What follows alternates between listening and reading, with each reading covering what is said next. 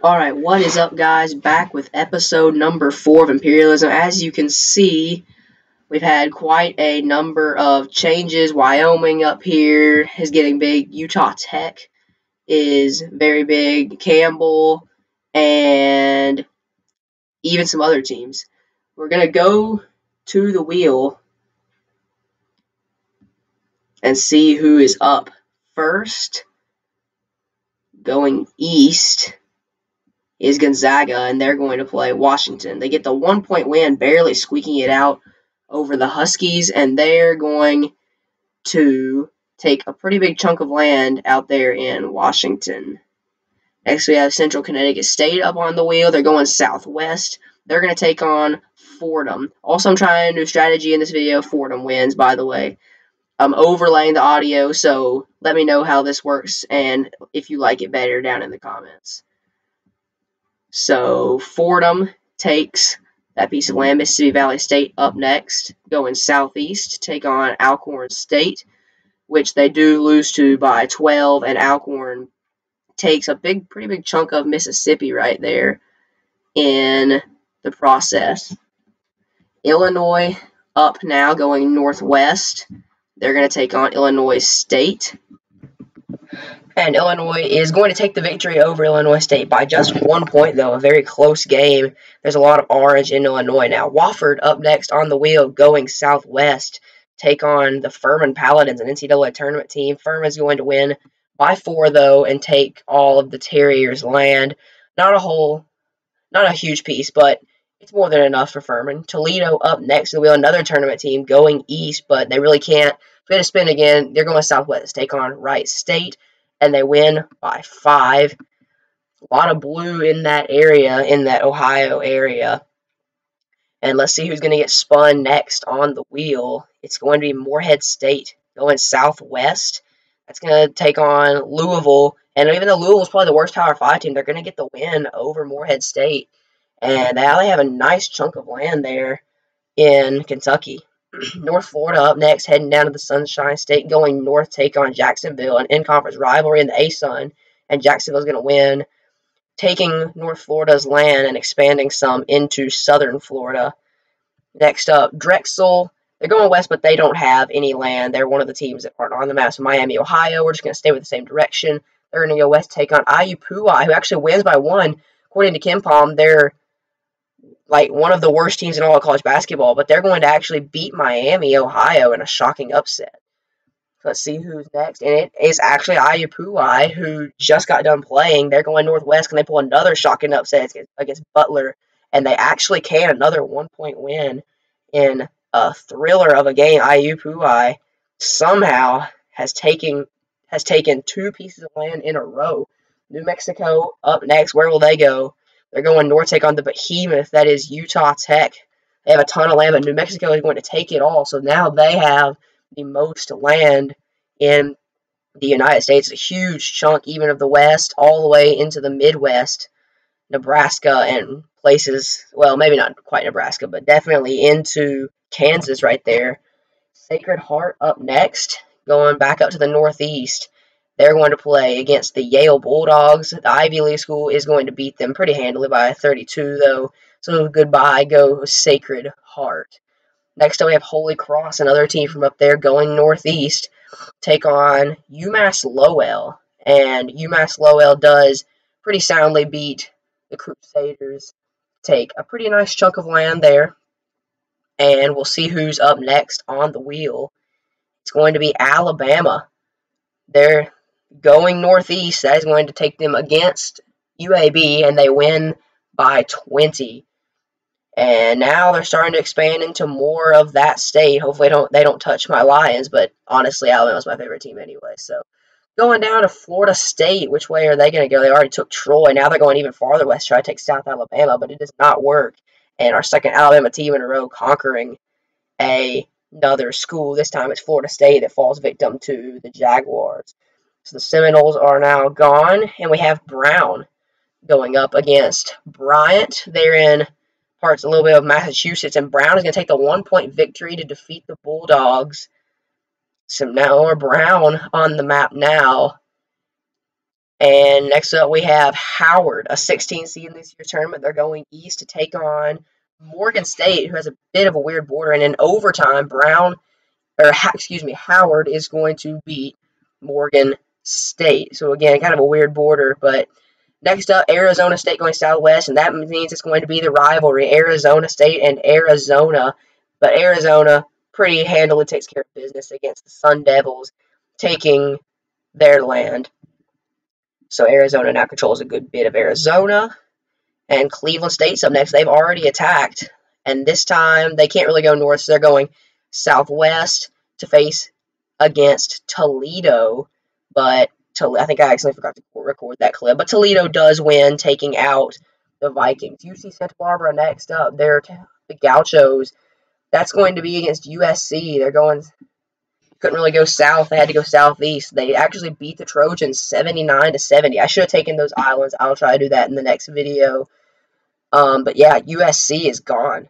Texas A&M up next, and they're going to go west, take on Texas. So one big school go down here, and it's going to be A&M. They lose to the Longhorns, who have a pretty decent piece of Texas, as you can see. Louisville going east. They've already attacked in this video. They're going to try to do it again. They're the worst Power 5 conference, but somehow they keep pulling out these wins. Or the worst Power 5 school, not conference, but they keep pulling out these wins this time against Marshall, and they take some more land. Stephen F. Austin up next, going west more into Texas. And they got Baylor, a huge disadvantage for them, and they're going to lose by 15. So the Bears, we're starting to see some of the bigger Texas teams take some more land and expand into more of their home state. VMI up next, It's trying to gain land. They're going northeast. That's going to be against Virginia Tech. So that's a tough matchup for them, and they lose by 28. Lots of orange now in the state of Virginia, and I think I accidentally just took that from Virginia. I said it was Virginia Tech. That's actually Virginia. Excuse me. Oregon's going to beat Oregon State, and they lose.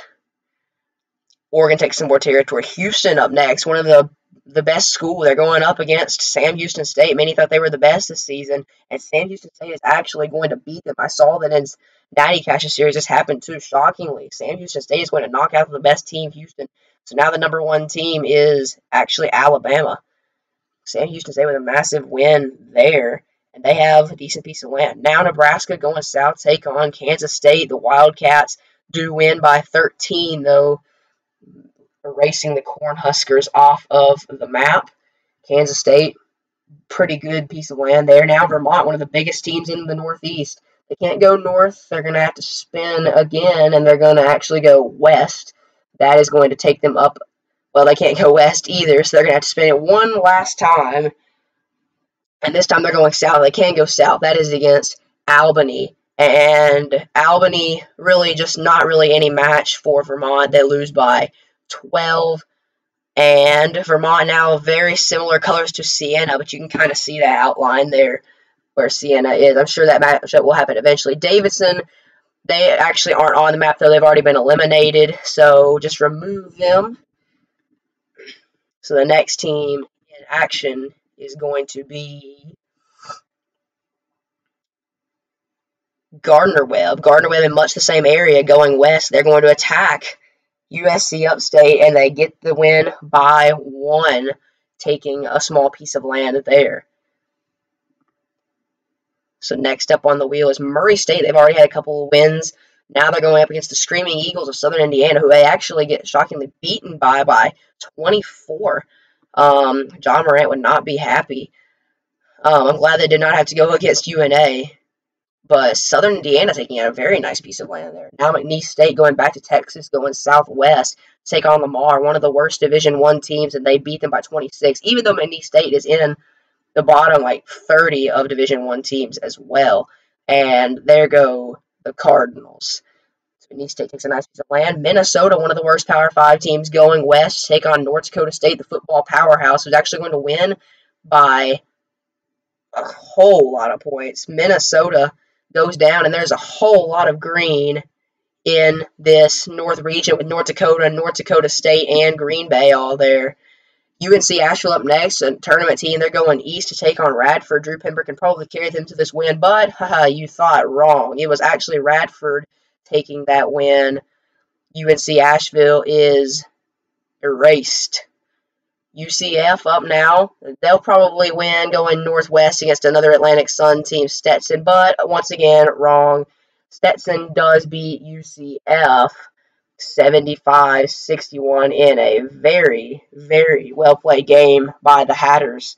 And now the Knights actually off the map. Stetson, some unexpected teams taking Florida, especially from the ASUN. FGCU, Jacksonville, Stetson. Rutgers is up next. They're going east to face Monmouth. Should be an easy win for them. And this time it actually is. They win that soundly. And Monmouth is off of the map. Florida up next. Southwest. Okay, so they're actually going to take out Stetson, not. I mean, excuse me, they're going east. So surely they'll take out Stetson, right? No, they won't. Stetson wins in overtime, and you love to see it. The Florida Gators are eliminated 75 to 70. And that is a huge win for Stetson. Now they control maybe even half of Florida. St. Francis, Pennsylvania up next. They're one of the worst D1 teams. They really don't have a shot against West Virginia, right? No, they don't. West Virginia wins 78 49. And St. Francis is eliminated. West Virginia with some kind of weird borders now, but so they're kind of vulnerable to be attacked from a lot of different angles. Next up, and I don't think I actually recorded who was going here. It's Michigan. Western Michigan actually does beat them, though, and I'm sure the Michigan State fans who lost to Michigan earlier are not very happy. VCU going southeast now, going against Hampton. This should be an easy win for them, but it's actually not. Hampton winning by three. One of the worst D1 teams takes down a tournament team, and Hampton takes a whole lot of land there in Virginia. Next up on the wheel, North Carolina Central. They've been doing good in Natty Cash series. They're going southwest to take on UNC, and they get their score doubled. It's not happening in this series. North Carolina Central is eliminated by the Tar Heels. Mississippi State up next, and they're going east to face Alabama again.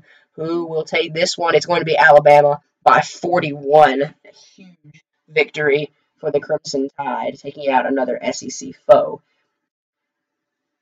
Next up, we have St. John's Rick new school going southwest. They're going to face off against Seton Hall, but Seton Hall is going to get the win by six and very small piece of land, but it works for them. UC Irvine going north against UC Santa Barbara has already taken over USC in this game, and they win again, 68-63. The Gauchos get another piece. Loyola Marymount is not on the map, so we'll just have to spin again. Sorry if you're a Loyola Marymount fan. Memphis up next, and I was really hoping they did not have to play UNA, which they didn't. It's going to be Ole Miss, who they beat by 13, one of the worst SEC schools, and Ole Miss is eliminated. Memphis now has a very big piece of land.